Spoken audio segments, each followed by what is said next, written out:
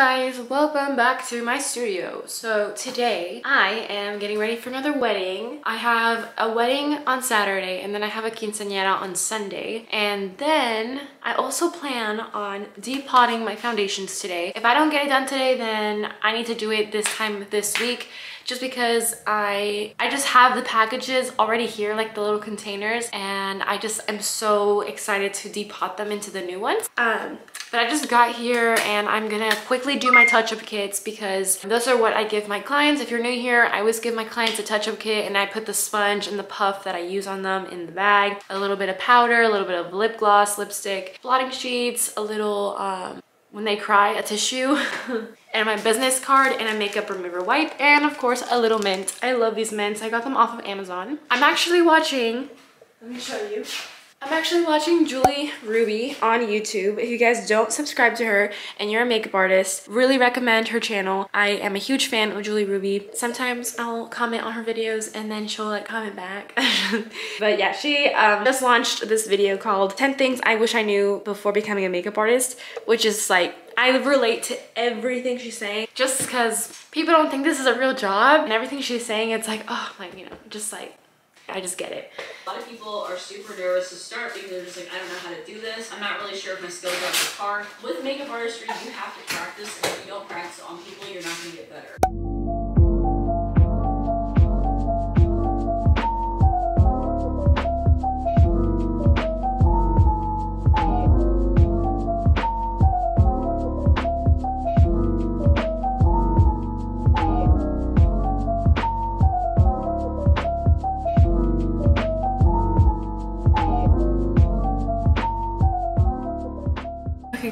My touch-up kits for both my parties, for the wedding and for the quinceañera. I have them over here. And then now it's like the dreadful part. Now I'm gonna have to see how I can smoothly transfer all of it to these containers here. Um, I have all the foundations here on the side in case I can't take all of it out of here. Unfortunately, I feel like that's gonna be the case for some of these, but I don't know. We'll see if this will work out. Nombre sea de Dios. It's kind of sad though, because I really thought, like, some of these did work. For this one, it's a thicker foundation, so it wasn't squirting out like when I would use the light reflecting by NARS did not work in these containers because it was so liquidy that I would have to literally unscrew and like pour onto my palette. I know I might get some comments like, oh, you should just leave like the ones that work in the container so you're not wasting. I don't know if I want them to all look different or maybe I could just leave the ones that work so I know like the difference of like what foundations and what. I don't know. We'll see. We'll see.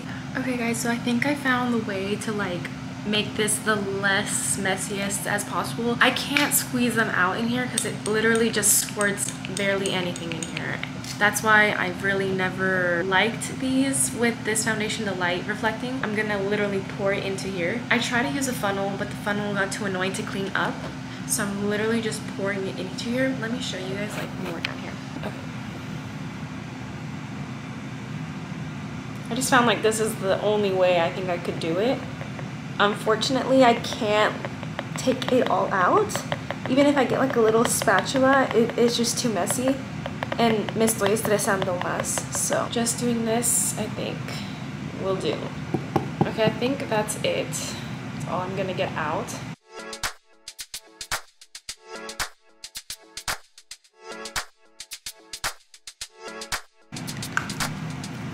And then I'm gonna cover it up with this little nozzle.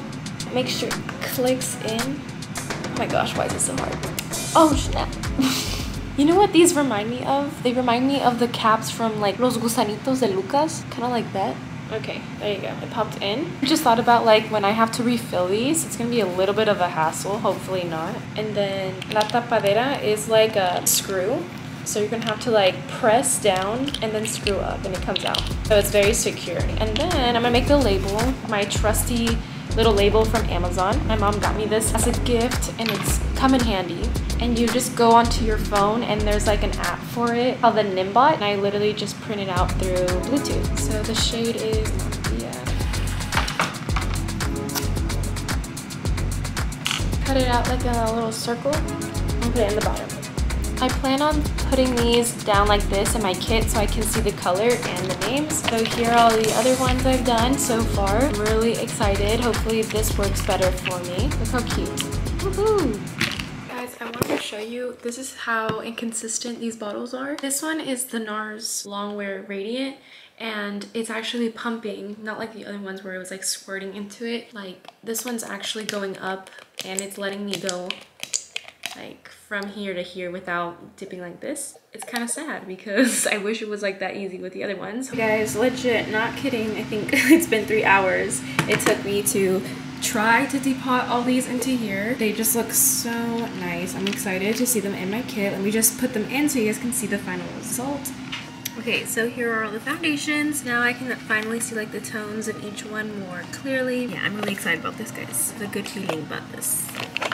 Guys, quickly before I leave my studio, I'm going to show you guys that my mom helps me put on curtains that are like longer because I used to have curtains but they were shorter and they look so good. It makes the salon, the studio looks so much more complete with them. Hey mom, you scared me! Oh my god! Ay, qué pedo. Okay, so we have one colgando de la cocina para que ya no veas adentro de la casa her laughing still. It looks like more private in here and they're like from the ceiling to the floor. Very nice, I must say so.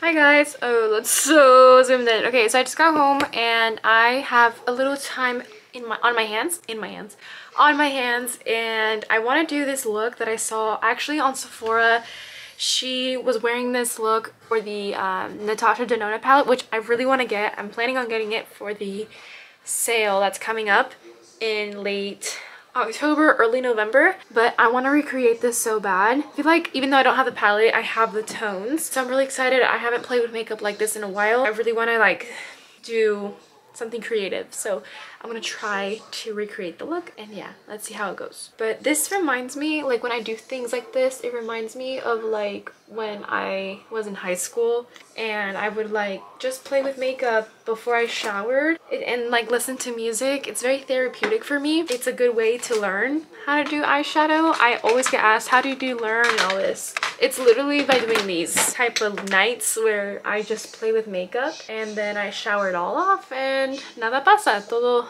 todo bien. it's like my therapy for me, for sure. Okay guys, so I took out my Glamcor light because I think I want to post this so I need good lighting. Um, so this is how it turned out. It's um very very pretty. I only put half a lash because I feel like I want the um I want the eyeshadow to shine through and I don't want the lashes to be like oh the main focus, right? So I did half lash. So I'm gonna try to recreate it on this eye and try to post it and try to do like a tutorial. I don't know, we'll see. And don't mind this, I literally was swatching different foundations. so that's why this part is kind of yellow. Um, I'm gonna take it off. Don't worry. Alrighty, I finished the look. I took a lot of pictures, videos. I'm gonna see if I like the videos and make it into a reel perhaps, if I like the footage. But I really like the eyes. I think the rhinestones really make the look. I did cake on a lot of makeup like on my face. I barely did anything with my eyebrows. I just pressed them onto my face with soap. Mm, I don't know if I could wear this much makeup to like an event though guys because like it feels like I have makeup on and I don't like it when I feel like I have cakey makeup on. You guys let me know if you like it. I really love the rhinestones though. Like that's my favorite part. Good morning everyone. So it has been a couple days later.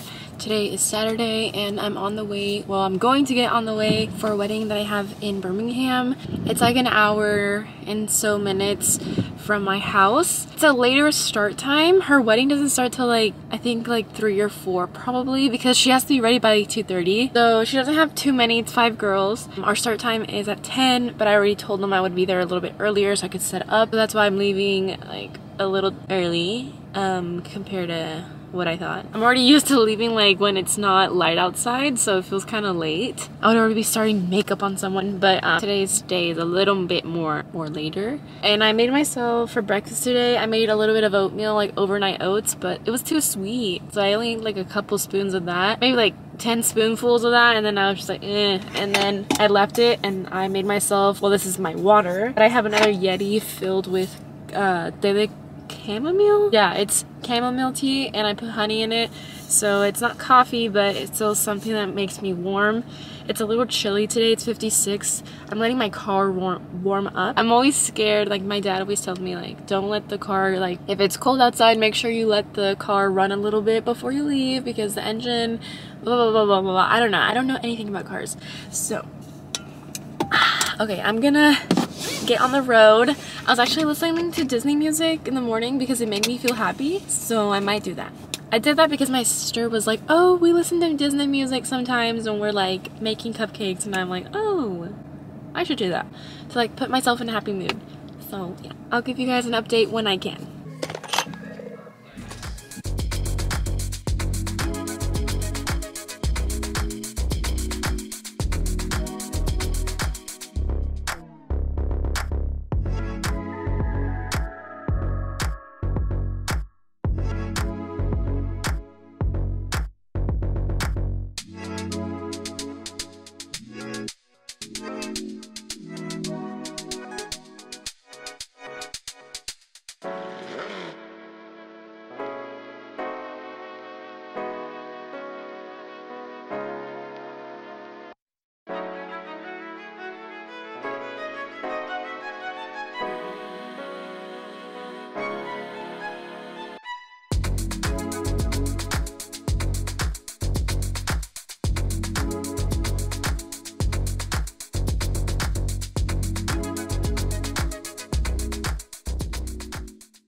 Alrighty guys, so I just left the bride's house and now I'm going home and these houses are beautiful here. She's actually getting married at her own house. Uh, that's awesome that you could even do that.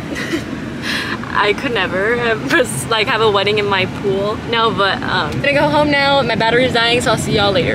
Alright guys, so I just finished cleaning everything up and setting everything up for tomorrow's quinceañera because it's gonna be um, six girls tomorrow. So I packed everything and I'm ready to go to my house.